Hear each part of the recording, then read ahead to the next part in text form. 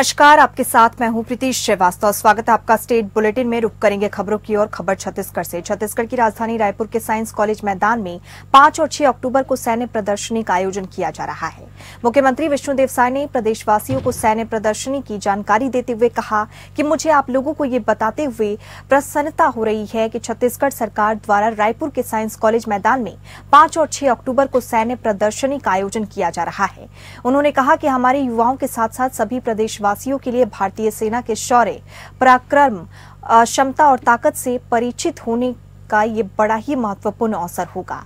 सैन्य प्रदर्शनी में युद्धक, टैंक टी नाइन्टी सहित बहुत से ऐसे आधुनिक और उन्नत सैन्य उपकरणों को प्रदर्शित किया जाएगा, जिसका उपयोग करके हमारी सेना ने दुश्मनों पर विजय प्राप्त की है। इस प्रदर्शनी में हमारे जाबाज सैनिक para jumping khukri dance daredevil motorcycle riding और घुड़सवारी का भी प्रदर्शन करेंगे। मुख्यमंत्री साय ने सभी से अपील करते हुए कहा कि आप सभी इस कार्यक्रम का हिस्सा बने, भारतीय सेना के आन बान शान से करीब से परिचित हो और अपने सैनिकों का हौसला और बुलंद करें। उन्होंने कहा कि आप सभी अपने परिवार के साथ इस प्रदर्शनी के सहभाग- बने। बच्चों को बच्चों के साथ अवश्य बच्चों को साथ लेकर आए ताकि हमारी नई पीढ़ी अपने देश की ताकत से परिचित हो पाए, उन्हें भी सेना से जुड़कर देश सेवा करने की प्रेरणा मिले।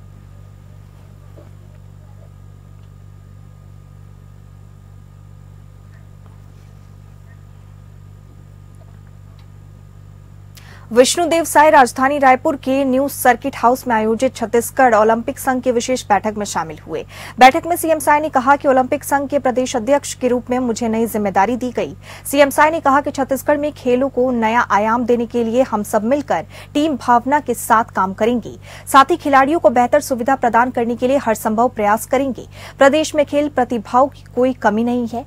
राज्य में खेलों के प्रचार प्रसार के साथ साथ अधोसंरचना के विकास और खिलाड़ियों के हित में हमारी सरकार द्वारा लगातार कार्य किया जा रहा है।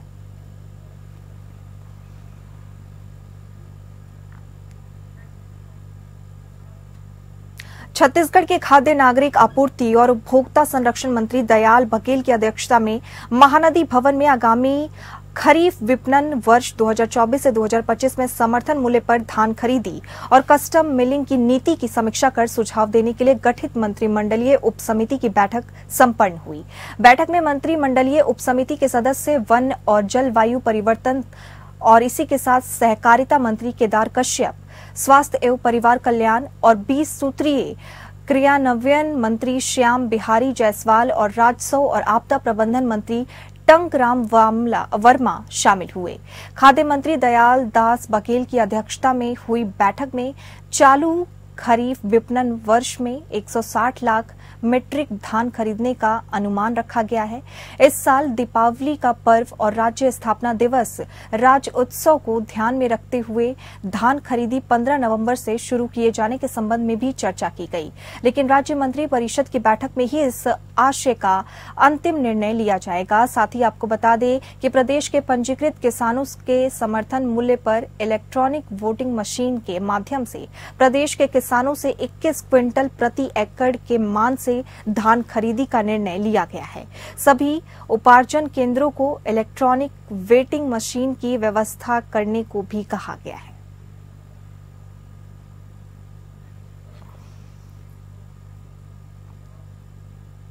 छत्तीसगढ़ में बढ़ते अपराध और नशाखोरी के विरोध में कांग्रेस पार्टी बलौदा बाज़ार की गिरोधपुरी से रायपुर तक की 125 किलोमीटर की पदयात्रा तो कर रही है। दूसरी ओर प्रदेश अध्यक्ष दीपक बैज के नेतृत्व में राजधानी रायपुर के कांग्रेस नेता, पूर्व विधायक विकास उपाध्याय भी कंधे से कंधा मिलाकर दीपक बैज का साथ दे रहे हैं। नुक्कड़ नाटकों के ज़रिए जनता के बीच में एक अनोखा प्रदर्शन कांग्रेस पार्टी कर रही है। सभी सार्वजनिक स्थलों, चौक, चौराहों और वार्डों में इन नुक्कड़ नाटकों के ज़रिए ये बताने की कोशिश की जा रही है कि छत्तीसगढ़ के सीने में सीने पर आपको बता दें कैसे वार अपराधी कर रहे हैं। पूर्व संसदीय सचिव और कांग्रेस के युवा नेता विकास उपाध्याय ने प्रदर्शन के बाद कहा कि आठ महीने की भारतीय जनता पार्टी की डबल इंजन की सरकार से छत्तीसगढ़ अपराध गढ़ बनकर रह गया है। हर दिन बलात्कार लूट डकैती हत्या और आम आ, ये सब आम बात हो गई है। आज कानून व्यवस्था नाम की चीज़ छत्तीसगढ़ में नहीं है। अपराधियों के हौसले बुलंद हैं। सरकार को नींद से जगाने के लिए और जनता को जागरूक करने के लिए हम नुक्कड़ नाटकों के ज़रिए जनता को ये बताने की कोशिश कर रहे हैं और जनता ये सब कुछ जानती भी है। अपराध आज सातवें आसमान पर है। नशे के गिरफ्त में छोटे छोटे बच्चे आ चुके हैं। ये प्रदर्शन हम रायपुर राजधानी के सभी सार्वजनिक स्थलों पर मोहल्ले में कर रहे हैं।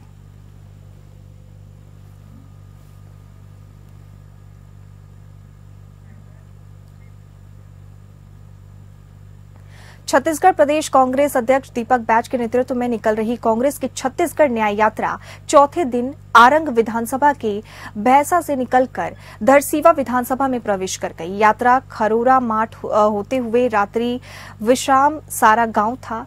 चौथे दिन यात्रा भैंसा से सारा गाँव तक कुल 24 किलोमीटर तक चली। और आपको बता दें, भैंसा से सारा गाँव तक यात्रा में ग्रामीणों और क्षेत्रवासियों ने मंच बनाकर जगह जगह यात्रा का स्वागत किया। प्रदेश कांग्रेस अध्यक्ष दीपक बैच ने पत्रकारों से चर्चा करते हुए कहा कि यात्रा का आज चौथा दिन है। इसके पहले तीन दिनों तक जनता ने भरपूर समर्थन दिया। हमारे हमारे कार्यकर्ताओं में भी यात्रा को लेकर अभूतपूर्व उत्साह देखने को मिल रहा है। इस यात्रा का उद्देश्य प्रदेश की बिगड़ चुकी कानून व्यवस्थाओं को लेकर सरकार को जगाना है। जनता के बीच बढ़ते अपराधों के कारण भय का माहौल है। महिलाएँ, बहनें असुरक्षित हैं। किसी समाज का आदमी सुरक्षित नहीं है। प्रदेश की सरकार दिशाहीन हो चुकी है। सरकार का ड्राइवर कौन है, किसी को पता नहीं है। सरकार के मंत्रियों में आपस में विरोधाभास है। प्रदेश कांग्रेस अध्यक्ष पत्रकारों के सवालों का जवाब देते हुए उन्होंने कहा कि पूर्ववर्ती कांग्रेस की पाँच साल सरकार थी, जो किसानों, युवाओं माता बहनों और प्रदेश के हर वर्ग के लिए काम किया। ईडी, आईटी, सीबीआई कांग्रेस सरकार को बदनाम करने का काम कर रही है।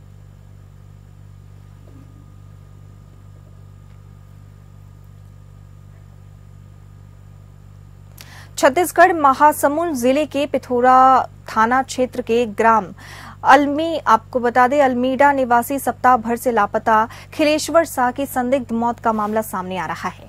प्राप्त जानकारी अनुसार अज्ञात व्यक्तियों के द्वारा खिलेश्वरी शाह को मारकर गाँव के किसान पीताम्बर ध्रुव के खेत के मेड़ में दबाकर छुपाया गया था, जिसकी पहचान उनके परिजन द्वारा की गई, जिसकी जानकारी पुलिस फॉरेंसिक टीम को मिलते ही मौके पर जाँच में पुलिस जुट चुकी है।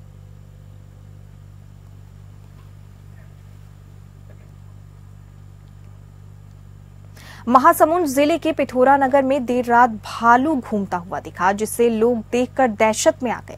प्राप्त जानकारी के अनुसार पिथौरा नगर के ग्राम लहरूद बया रोड क्षेत्र के आसपास काफ़ी देर तक भालू को घूमता हुआ देखा गया। शहर में लगातार भालुओं की आमद जारी है। भालू शहर के गली मोहल्ले में आए दिन नज़र आ रहे हैं। भोजन पानी की तलाश में भालू रिहायशी इलाके का रुख कर रहे हैं, जिन्हें रोक पाने में वन विभाग पूरी तरह नाकाम नज़र आ रही है। वहीं लोगों को मॉर्निंग वॉक में निकलने के लिए भी सावधानी बरतने की बात कही गई है। आप अपनी टीवी स्क्रीन पर देख सकते हैं किस तरीके से वहाँ पे भालू घूमते हुए नज़र आ रहे हैं। मोहल्ले इलाके हर जगह वहाँ पे भालू घूमते हुए नज़र आ रहे हैं। लोग अपने आप को असुरक्षित महसूस कर रहे हैं। मॉर्निंग वॉक में भी लोगों को काफ़ी दिक्कत हो रही है।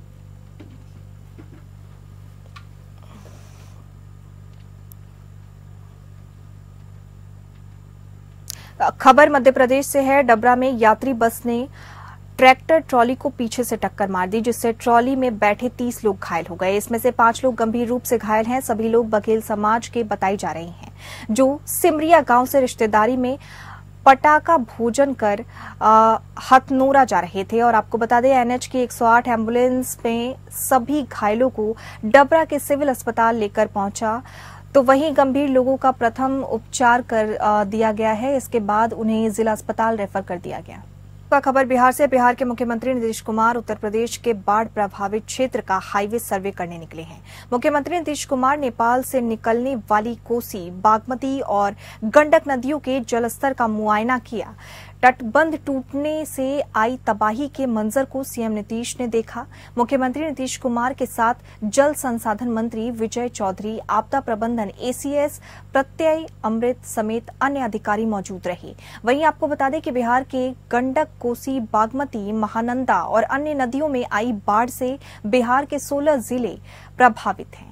आपदा प्रबंधन के मुताबिक पूर्वी चंपारण और चंपारण, आपको बता दें, अररिया, किशनगंज, गोपालगंज, शिवहर, सीतामढ़ी, सुपौल, सिवान, मधेपुरा मुजफ्फरपुर पूर्णिया, मधुबनी, दरभंगा, सारण और सहरसा के 55 प्रखंडों में दो सौ उनासी ग्राम पंचायतों में बाढ़ का पानी घुसा हुआ है। इन जिलों के लगभग नौ दशमलव नौ शून्य लाख जनसंख्या बाढ़ की चपेट में है।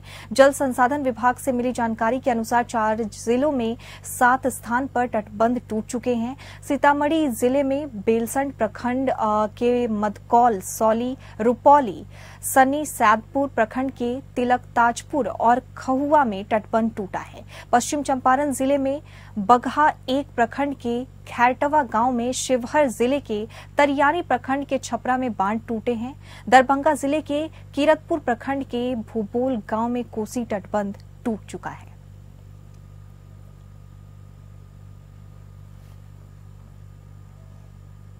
सीतामढ़ी ज़िले में 22 साल बाद बागमती अपनी रौद्र रूप में आई है, जिसके कारण सीतामढ़ी के तीन जगहों पर बाँध टूट गए हैं। वहीं शिवहर में भी एक जगह बाँध टूट गया है। इन चार स्थानों की तीन लाख की आबादी बाढ़ के बाढ़ से आपको बता दें, नुकसान हुआ है और उन्हें काफ़ी ज़्यादा परेशानियों का सामना करना पड़ रहा है। इसमें पहला स्थान बेलसंड के मदकौल का है, जहाँ बाँध टूटने के बाद दस पंचायतों के तीस गाँव में संकट का बादल छा गया। वहाँ सनी सैदपुर में रविवार की शाम को तिलक, ताजपुर और खरहुआ, नुनौरा के मध्य बाँध टूटा है, जिसके बाद लोगों में अफरा तफरी का माहौल कायम हो गया। यहाँ बाँध टूटने के करीब दो लाख की आबादी प्रभावित हो चुकी है और इसका दायरा बढ़ता जा रहा है। जिला प्रशासन की ओर से आम लोगों से अपील की गई है कि सतर्कता बरतें और सुरक्षित स्थानों पर रहें। नदियों के जलस्तर में वृद्धि होने की संभावना है। अधिकांश हिस्सों में मेघ गर्जन के साथ व्रजपात और हवा की गति झोंकों के साथ 30 से 40 किलोमीटर प्रति घंटे की रफ्तार से चल सकती है।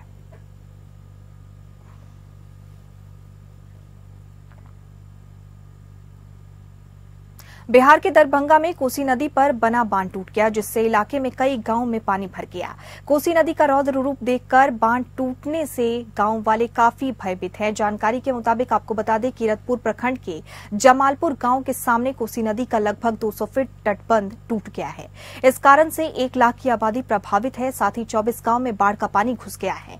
डीएम राजीव रोशन ने बताया कि किरतपुर की आठ पंचायतों के लोगों को ऊँचे स्थानों पर जाने के लिए कहा गया है। करीब आठ किलोमीटर की दूरी में पानी बह रहा है। घनश्यामपुर घोड़ा बोराम कुशेश्वर स्थान और कीरतपुर प्रखंड इससे प्रभावित होंगे। जिला अधिकारी राजीव रोशन मौके पर अपनी टीम के साथ कैंप कर रहे हैं और अधिकारी मौके पर पहुंचकर राहत कार्यों में लगे हुए हैं। लोगों को अलर्ट किया जा रहा है, ऊँचे स्थानों पर जाने की अपील की जा रही है। लोगों के बीच अपने आप को बचाने के लिए अफरा तफरी का माहौल है। बाँध देर रात बारह बजकर पैंतालीस मिनट में टूटा है, लगभग एक लाख की आबादी प्रभावित है। बाँध टूटने से जमालपुर, झगरुआ, कुबौल, तरवारा आपको बता दें रसियारी किरतपुर घनश्यामपुर सहित कई गाँव मुख्य रूप से प्रभावित हैं।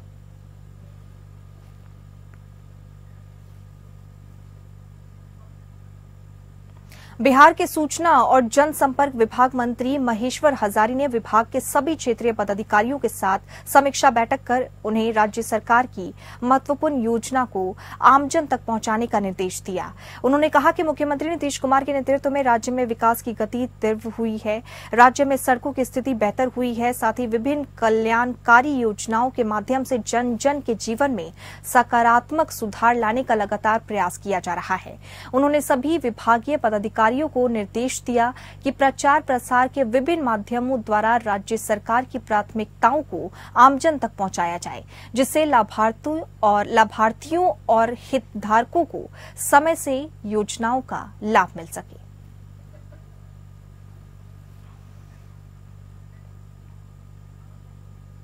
खबर सासाराम से है, जहाँ डेहरी मुफस्सिल थाना क्षेत्र के जमुहार के पास से एक नर्तकी का शव बरामद हुआ।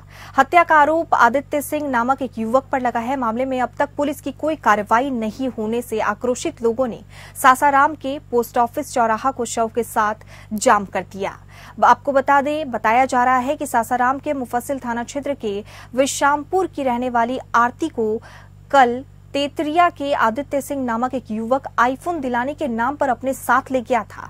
लेकिन आज गंभीर स्थिति में वो सड़क किनारे पड़ी मिली। परिजन उसे अस्पताल ले गए, लेकिन डॉक्टर ने मृत घोषित कर दिया।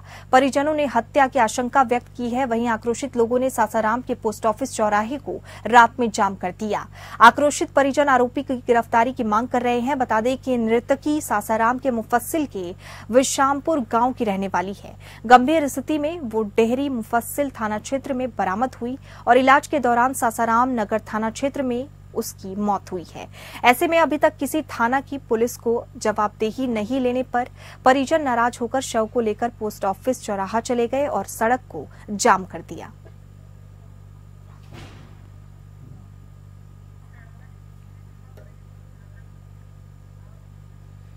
खबर झारखंड से आपको बता दें, भारत को कुपोषण मुक्त बनाने के लिए संकल्प के साथ 1 सितंबर से शुरू हुआ राष्ट्रीय पोषण माह आज संपन्न हो गया।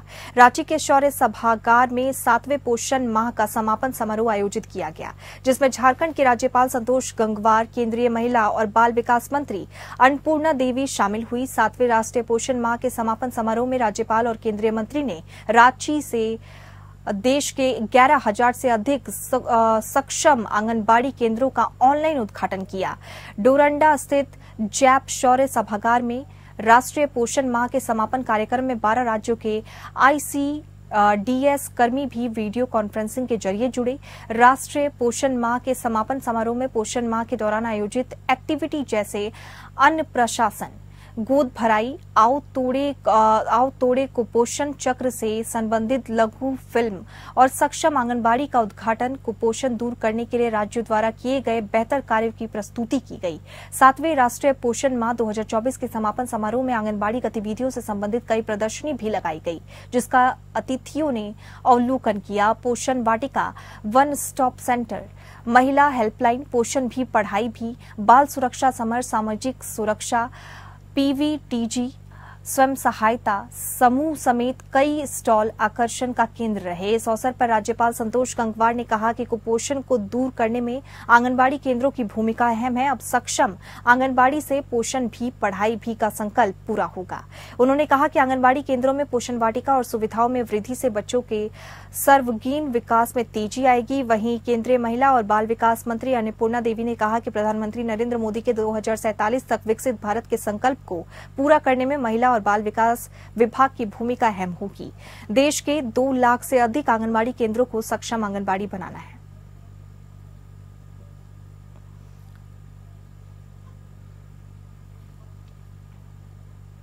इलेक्टोरल बाइंड्स मामले में वित्त मंत्री निर्मला सीतारमन और भाजपा के राष्ट्रीय अध्यक्ष जेपी नड्डा पर प्राथमिकी दर्ज होने पर झारखंड की सत्ताधारी पार्टी झारखंड मुक्ति मोर्चा मुखर है। मामले में झामुमो के केंद्रीय महासचिव सुप्रीमो भट्टाचार्य ने प्रधानमंत्री नरेंद्र मोदी से केंद्रीय वित्त मंत्री को तत्काल बर्खास्त करने और भाजपा अध्यक्ष जेपी नड्डा को भी पद से हटाने की मांग की है।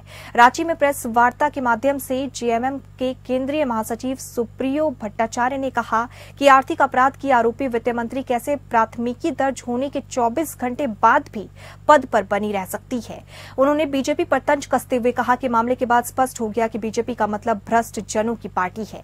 झारखंड मुक्ति मोर्चा के केंद्रीय महासचिव सुप्रीमो भट्टाचार्य ने कहा कि रांची दौरे के दौरान भी निर्मला सीतारमन ईडी के आरोपी और जेल से बेल पर छूटे विष्णु अग्रवाल के साथ फाइव स्टार होटल में मुलाकात किया था उन्होंने। इतना ही नहीं तब ईडी का फरारी एक आरोपी के साथ भी उनकी तस्वीर सार्वजनिक हुई थी। सुप्रीमो आ, आपको बता दें सुप्रियो भट्टाचार्य ने कहा कि सरकारी एजेंसियों का दुरुपयोग कर पैसे की उगाही कर उसे भाजपा के फंड में जमा किया गया है। उन्होंने कहा कि भाजपा अखंड भ्रष्टाचार में डूबी हुई है झामुमो के केंद्रीय महासचिव सुप्रियो भट्टाचार्य ने कहा कि असम के मुख्यमंत्री हिमंता विश्वा शर्मा अभी से ही मुख्यमंत्री मैया सम्मान योजना और मैया सम्मान यात्रा की सफलता से घबरा गए हैं। यही वजह है कि अब वो 2100 महीना देने वाली योजना और तीन चरणों में अपने घोषणा पत्र को जारी करने की बात कर रहे हैं। ये उनकी घबराहट का परिचायक है। सुप्रियो भट्टाचार्य ने कहा कि उन्हें तो कभी कभी आश्चर्य होता है कि इस राज्य में भारतीय जनता पार्टी का प्रदेश अध्यक्ष बाबूलाल मरांडी है, या फिर हिमंता बिस्वा शर्मा, जो एनडीए में सीट शेयरिंग से लेकर घोषणा पत्र तक की बात करते हैं।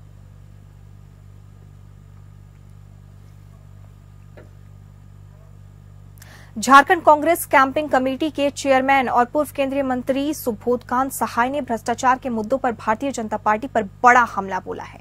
पूर्व केंद्रीय मंत्री ने कहा कि आज झारखंड आकर भाजपा के नेता बांग्लादेशी घुसपैठ की बात कर रहे हैं।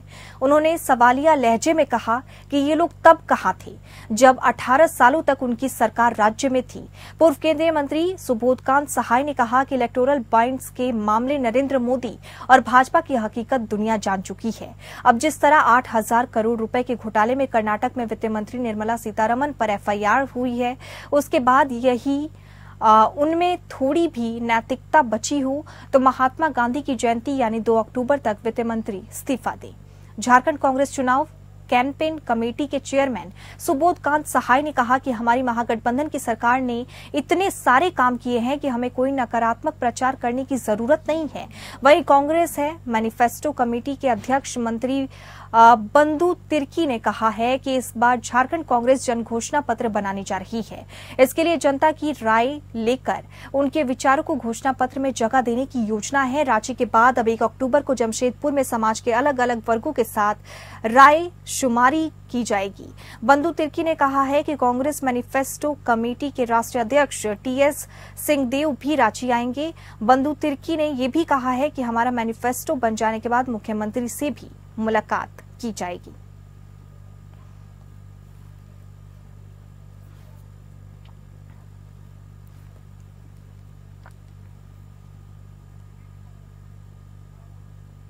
गढ़वा में सरकारी अधिवक्ता परेश कुमार तिवारी ने व्यवहार न्यायालय परिसर में कॉन्फ्रेंस हॉल में आयोजित प्रेस कॉन्फ्रेंस के दौरान कहा कि मुख्यमंत्री हेमंत सोरेन ने अधिवक्ताओं के हित में एक ऐतिहासिक कार्य किया है।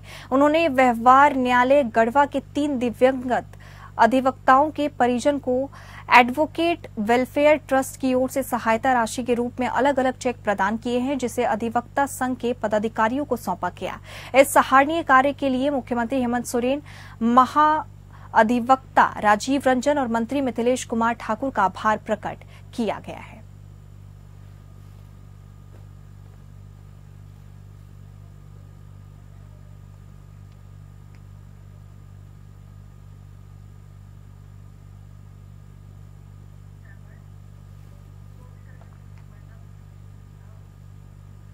और इसी के साथ स्टेट बुलेटिन में फ़िलहाल इतना ही। नमस्कार।